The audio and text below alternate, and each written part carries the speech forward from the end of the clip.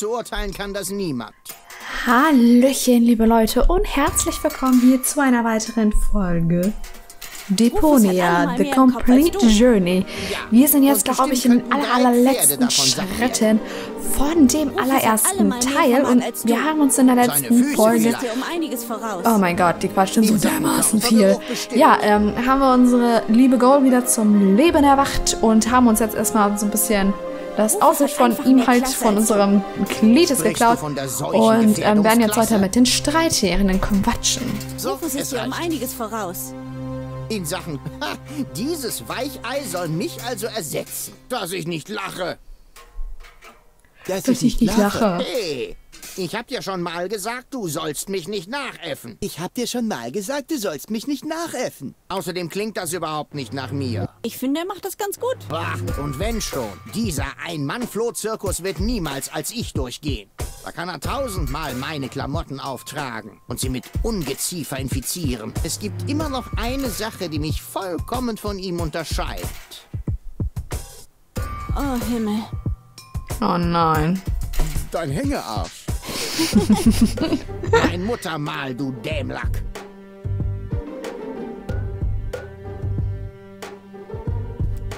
Nee, Was tust du? Lass das! Autsch! Nein! Klitis on Mast. ah, der nervt so. Wir hängen ihn einfach auf. So ist es. Einfach aufhängen, dann haben wir, haben wir es geschafft. einfach wir haben alles geschafft. geregelt. Auf nach Elysium.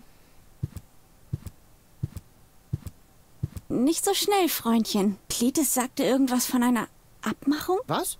Ach das? Vergiss es. Schnee von gestern. Lass uns los. Nach Elysium. Warte mal.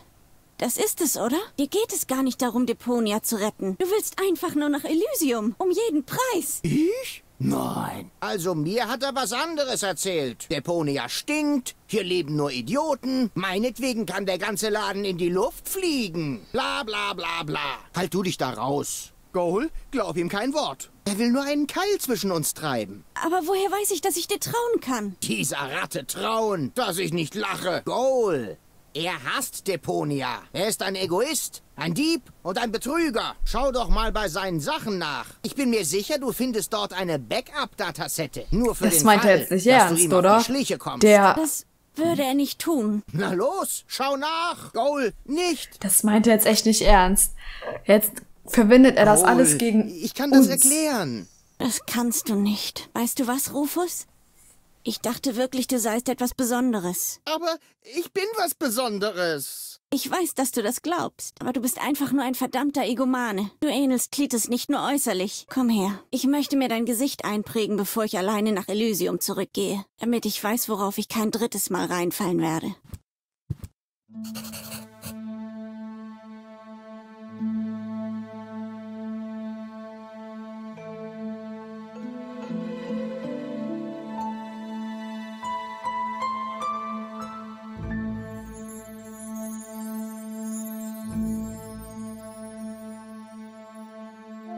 Sorry, ich habe schon wieder vergessen, das Mikro anzumachen. Aber sie ist so schön, oder?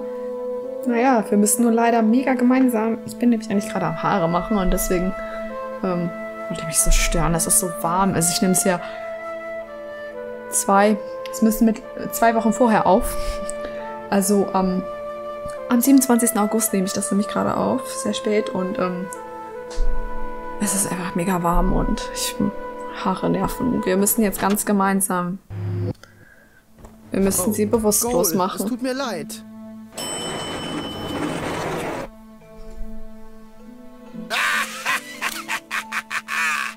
Bravo. Ach, auch das noch. Argos, endlich. Holen Sie mich hier runter. Warum sollte ich?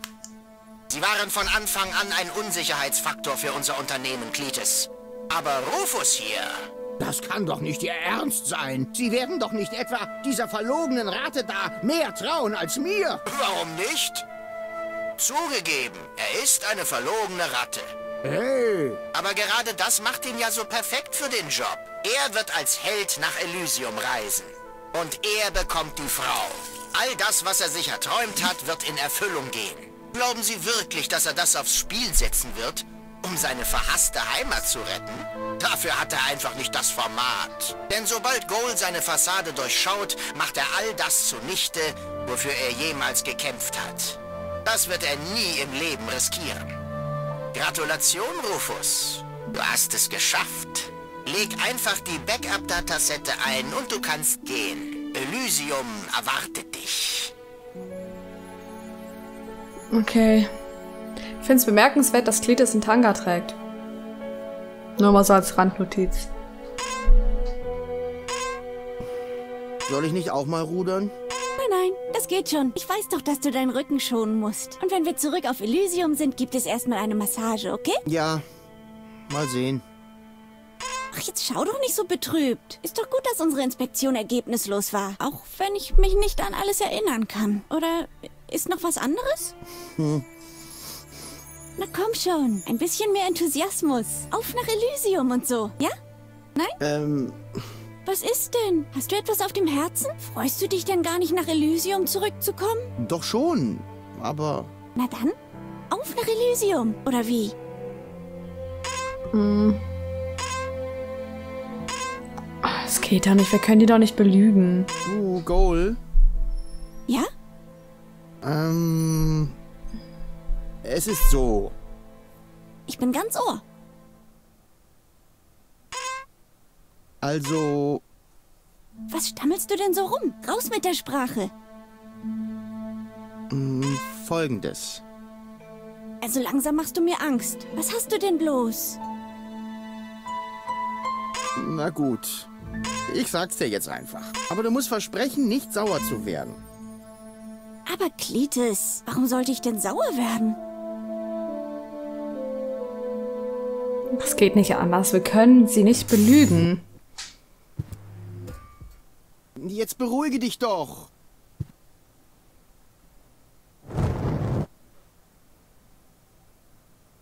Mich beruhigen? Irgendein Hochstapler löscht mir das Gedächtnis, gibt sich als mein Verlobter aus und stiftet mich beinahe zu einem Genozid an und ich soll mich beruhigen? Immerhin habe ich's dir noch erzählt, oder? Ich bin der Gute. Du bist gleich der Tote, wenn du mir nicht sofort meine alten Erinnerungen wieder beschaffst. Aber das ist doch der reinste Selbstmord. Glaub mir, Freundchen, es nicht zu tun wäre Selbstmord. Okay, okay. Jetzt nimm mir endlich dieses lückenhafte Pseudobewusstsein aus dem Kopf und komm ja nicht auf die Idee, sie wieder einzulegen. Bin ja schon dabei. Undankbare Suse. Gott sei Dank ist die Goal auf der anderen Datasette besser auf mich zu sprechen. Äh, ja, für die, die es nicht wissen, ähm, Genozid bedeutet äh, Völkermord, was ja wäre, wenn wir ähm, unsere oh, Tasche. Ich kann er behalten. Da sagt man einmal die Wahrheit. Ja, wir haben ja nur diese Backup-Datasette. Was? Wo? Ich? Rufus, du verdammter... Ach nee, da war ja was. Hä? Oder halt eher die... Glotz nicht so! Wenn ich draufgehe, wird es dir leid tun. Weil du dann schuld bist. Ach. Oder ist die unten? Hä, wo ist denn die?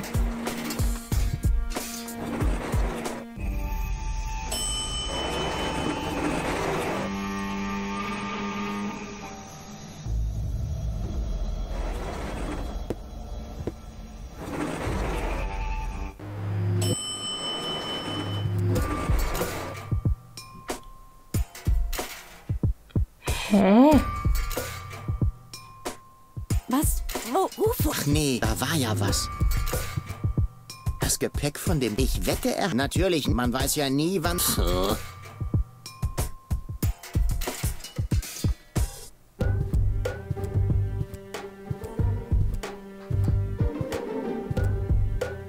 Nicht ohne Goal. Ja, aber wir haben ja nur diese eine Datasette. Nur die Backup, nicht die andere.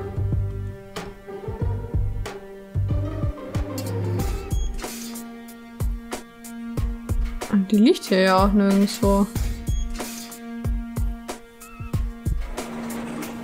fahr jetzt einmal nochmal nach unten.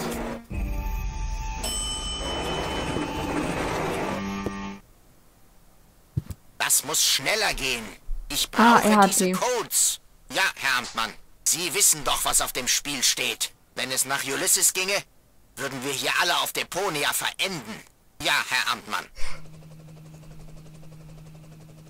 Gibt es Probleme, Argus? Nein, Herr Oberkontrollrat. Nur ein durchgeschmortes Relais. Das ist jetzt unwichtig. Ich möchte ein paar Worte an die Mannschaft richten, bevor wir nach Portafisco aufbrechen. Sofort. Sehr wohl, Herr Oberkontrollrat. Ihr habt den Mann gehört. Auf, auf!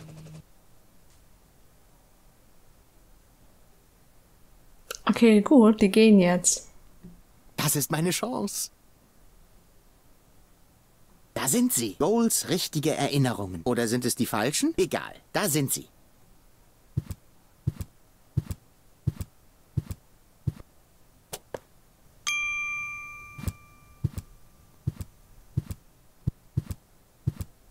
So, wir haben jetzt die richtige Datasette und werden nach oben gehen und das einsetzen. Hallo. Oh. Der Tangerman. Na, überrascht. In the house. Du dachtest wohl schon, du hättest es geschafft. Hm, das Glück ist mit den Gerechten und so. Tja, falsch gedacht, mein Freund. Es ist fast schon tragisch. Einmal im Leben entscheidest du dich, das Richtige zu tun, und schon kostet es dich alles. Einen großen Traum, die Liebe deines Lebens, deinen Heimatplaneten.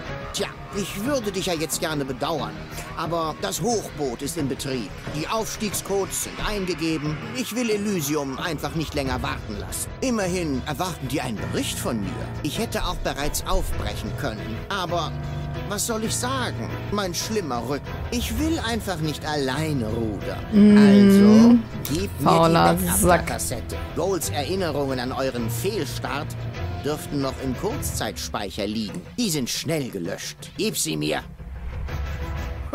Das könnte dir so passen. Mhm. Gib ihm die Datasette. Was ist hier ah, los? Der Organon. Immer pünktlich, immer zuverlässig.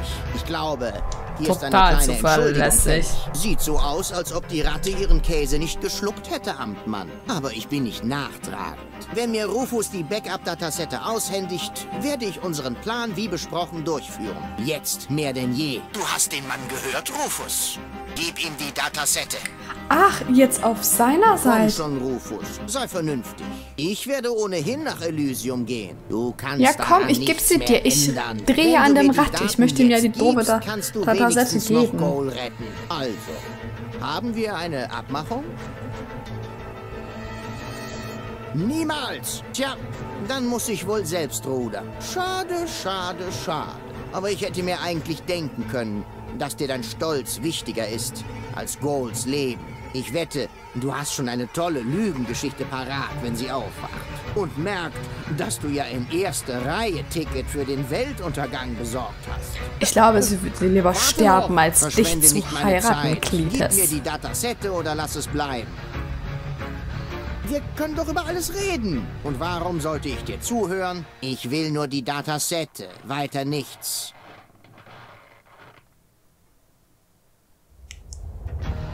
Okay. Du Nimm hast die scheiß Datasette.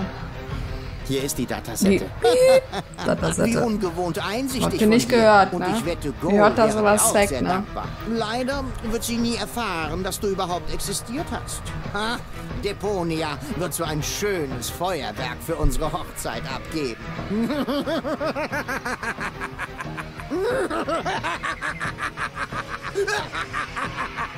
Verschluck dich nicht an deinem eigenen Ego. Ich hasse diesen Typ. Cletus? Was... Was ist passiert? Eine Menge. Kannst du dich etwa nicht mehr erinnern? Natürlich kann ich mich erinnern. Ich ich, ähm, ich war mit dir auf einem Organon-Kreuzer. Wir wollten Deponia inspizieren, richtig? Wir sind auf Deponia, aber unsere Mission ist beendet. Habe ich geschlafen? Es gab einen Unfall. Du bist vom Kreuzer gefallen. Darum kannst du dich auch an nichts erinnern. Aber schau dich um. Deponia ist verlassen.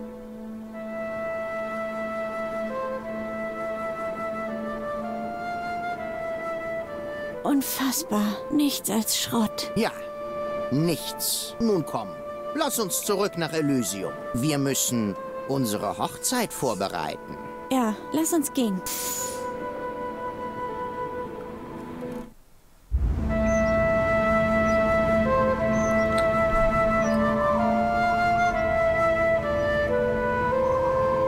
Tja, das war's dann wohl.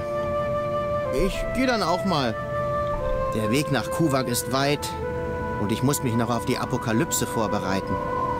Nicht so schnell, Freundchen. Du dachtest doch nicht wirklich, dass wir dich laufen lassen. Du weißt zu viel. Außerdem glaube ich, dass du noch etwas hast, das uns gehört. Ach ja, die Datasette. Hm. Was ist? Worauf wartest du? Gib sie mir. Hoppla. Nein! Macht's gut, ihr Trottel.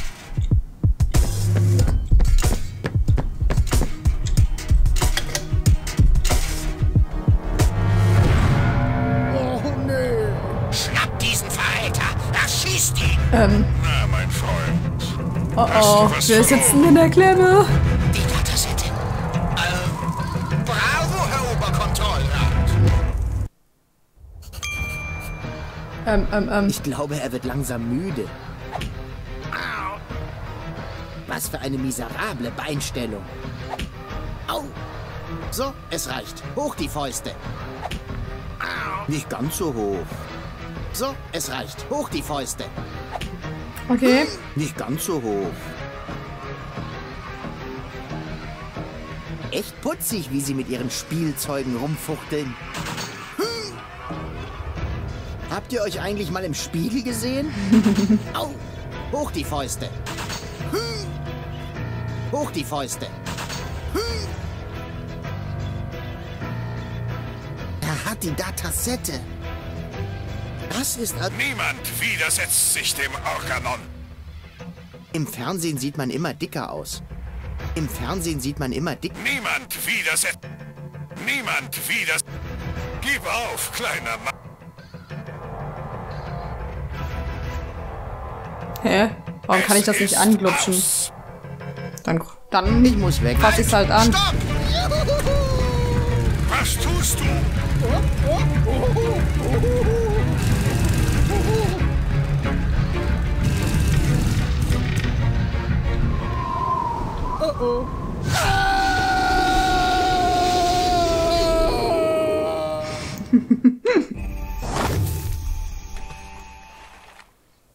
Oh, Captain Bozo. Na, so schnell wieder zurück? Das war ein beeindruckender. Sprung. Und mitten in den Nadelhaufen. Habe ich so noch nicht gesehen. Respekt. Alles klar, Kleiner? Du klingst ein wenig ausgepowert. Ach, ich glaube, ich habe mir nur das Rückgrat gebrochen.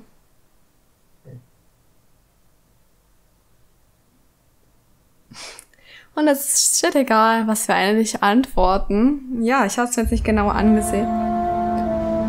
Yay, Hussa und so. Äh.